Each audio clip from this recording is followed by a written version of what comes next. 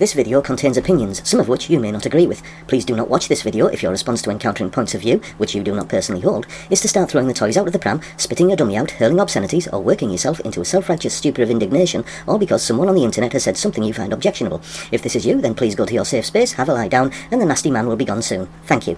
Hello chaps, welcome to John Robson Guitar Tuition once again. I do hope you're well. Now then, as you've probably noticed, just about everybody seems to be putting something up on YouTube these days about the current state of affairs at Gibson. In fact, I think even my dog has a video on this very topic planned sometime soon. So, not wanting to be left out, I thought I'd give you my 10 bobs worth. As I'm sure you're aware, Gibson are facing possible bankruptcy because, frankly, they're not selling enough guitars in order to keep the company going and I began to wonder why this is the case. Now, I don't know about you, but my perception is that Gibson guitars have got really rather expensive in recent years. Perhaps this is just me being the old fart that I am. You know, in my day, you could go out and drink 10 pints of best bitter, buy a fish and chip supper, catch the last bus home, and still have change from half a crown. Perhaps it is that, but just in order to check, let's have a look at some numbers. Right, here's a price list for all of Gibson's guitars as they were in 1979. And as it's Les Pauls that we're interested in, let's have a look at that section. Here it is. In particular, it's the Les Paul Standard we want to look at, and you can see, just about, despite the fact that it's kind of on the fold of the piece of paper, that a Les Paul Standard would have cost you $799 if you were paying for it in dollars. But what if you were paying for it in pounds sterling?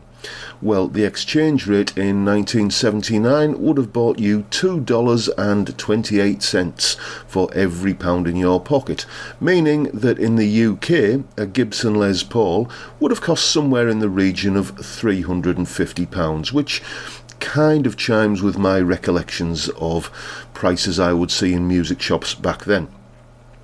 Now then, in 1979, the UK average salary was in the region of £6,000 per annum, meaning that a Les Paul standard would have cost you somewhere in the region of 5.8% of your average annual earnings.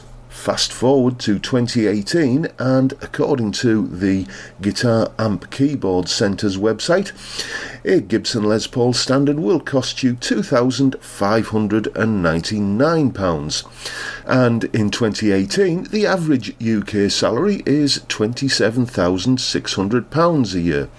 Meaning that if you look at that as a percentage, a Gibson Les Paul now costs you 9.4% of your average annual earnings as opposed to 5.8% in 1979. So that's going up from just over 5% to just under 10%. That is, as near as damn it, a doubling in price in real terms. So those figures seem to suggest that Gibson have indeed done what a lot of people perceive that they've done, which is to hike their prices.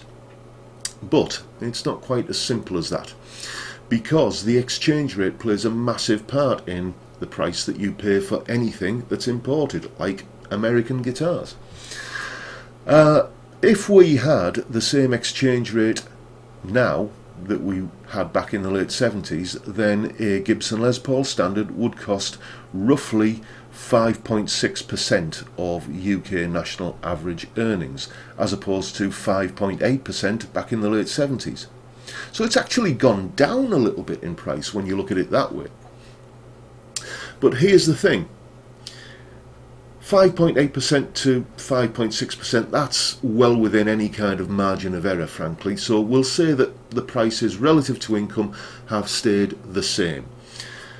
Can you think of any other consumer product which has stayed the same price relative to income other than a Gibson Les Paul standard or Gibson guitars? For instance, cars, clothes, technology, whatever everything has, in real terms, gone down in price since the back end of the 70s. I grew up, for example, in a fairly middle class household when I was a kid.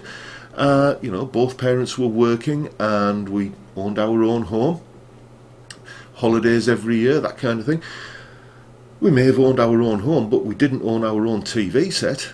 No, that came from radio rentals. Why? Because owning a television set outright was just it was just a, pipe dream. You couldn't afford to buy a television. They were so ridiculously expensive. You got it from Radio Rentals or from Granada or one of the other rental places, all of which have now gone out of business because televisions are pretty much disposable items nowadays. Like I said, things have become cheaper in real terms. But a Gibson Les Paul standard has remained stubbornly the same, roughly 5 and a bit percent of UK national average income. Also, Gibson have more competitors nowadays. Back in the 70s, if the guitarist that you um, wanted to emulate or admired was playing a single cut mahogany set neck twin humbucker guitar, it was going to be a Les Paul, let's face it. These days it could just as easily be a PRS or an ESP or any number of, of other brands. The budget guitar manufacturers have also got their act together, and you know, sometime in the early to mid 90s, they decided, I know, let's stop making guitars out of plywood, bubblegum, and snot, and we'll use the good stuff like mahogany and maple instead. Now, obviously, Gibson's response to this was to, you know, start making their own budget guitars and uh, putting them out as Epiphones. But the, the fact remains that Gibson have more competitors for their particular type of instruments nowadays than they had when they kind of ruled the roost. Um, the elephant in the room, of course, are the um, innovations that Gibson have uh, put on their guitars in recent years. You know, motorized tuning pegs. I mean, come on, really? I mean, I get where they were coming from with that. Um, Gibson guitars, if you've played them and, and owned them like I have, you will know that they can be a little bit unstable when it comes to holding their tuning. Um, so Gibson decided, right, we won't sort out the break angle over the nut, we won't sort out the headstock shape uh, to make the, the string pull a little bit um, better and straighter. No, what we'll do is we'll put some electric motors on the tuning pegs because that'll solve everything. You know, I mean, just let's not get any further into all of the uh, recent um, things that Gibson have done that guitarists don't like. But the fact remains is that if you have a couple of grand in your pocket or thereabouts and you walk into a guitar shop looking for a set neck, mahogany, twin humbucker, single cut guitar, if the Gibson doesn't do it for you, then there are other ones there that you can choose from. You don't have to kind of think, well, I want that style of guitar, so it has to be a Gibson in the way that maybe perhaps you once used to. And all of this, I think, are the reasons why Gibson is struggling at the moment. Um, will they continue? Well, I think they will in some shape or form because, as others have said before me, the brand Gibson is just too valuable to die out. If you know the, the company Gibson, as it stands at the moment, does go to the wall, then somebody will buy up the brand and start making guitars um, with that name on the headstock in pretty short order, I should imagine. So, you know, that's my 10 bobs worth anyway, as I said at the beginning of the video. And that's it for today, folks. Um, if you've enjoyed this video, then please hit the subscribe button. If not, then don't. If you're on Teesside and you want some tailored one-to-one -one guitar tuition, then get in touch with me via the details at the end of this video. If you aren't on Teesside and you want some guitar tuition, then give me a shout anyway, because I also do lessons via Skype. And here's the usual plug for the albums that I have out at the moment. The Whiskey Made Me Do It and Handles for Forks, both of which are available on all major platforms and via my website. The link you'll see below. Right, that's it for now, folks. I'll see you all again next time. Bye for now.